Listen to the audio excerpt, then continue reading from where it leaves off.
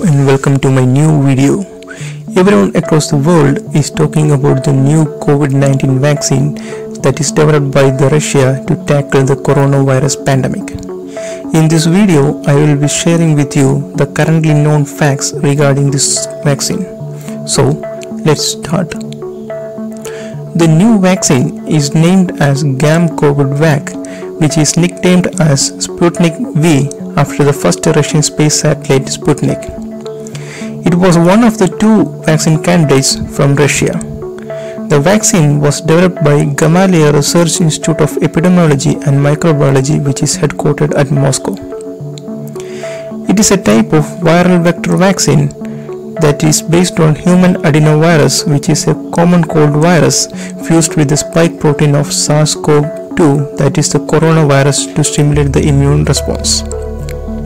The Russian President Vladimir Putin announced on 11th August of 2020 that the vaccine is registered under the Ministry of Health of the Russian Federation for the use against coronavirus disease that is the COVID-19. He also added that one of his daughters has already been administered with the vaccine and he is very much confident about its efficacy in tackling the COVID-19 pandemic. The only side effect of this vaccine known so far is the spike in body temperature which is common with any other vaccine and is reported to reduce by a day or two. According to the reports available, Russia is set to start the serial production of Sputnik V vaccine by the beginning of September 2020 along with three enterprises namely R-Pharm, Generium and Binnopharm. The exact numbers for productions are not yet made available. It is expected that these Russian companies will be able to produce several million doses of the Sputnik V vaccine.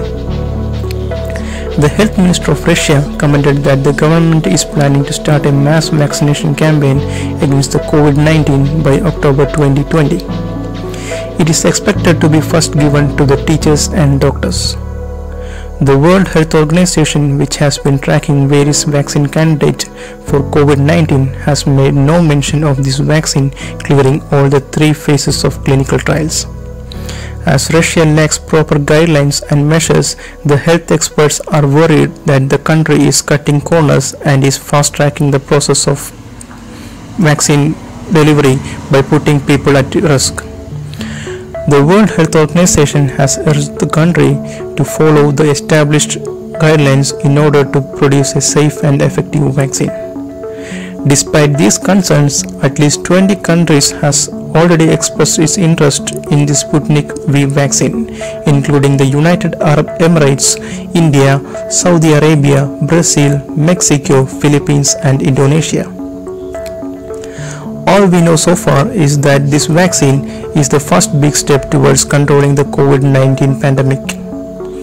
People across the globe are eagerly waiting for a vaccine to be made available for the public.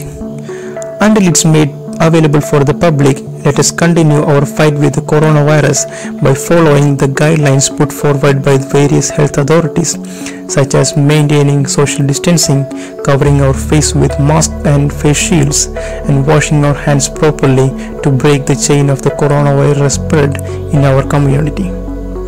Thank you for watching. Check the description below to the links to my other videos. If you like this video, give a thumbs up and share with your friends. If you are new to my channel, don't forget to subscribe to my channel for receiving future videos.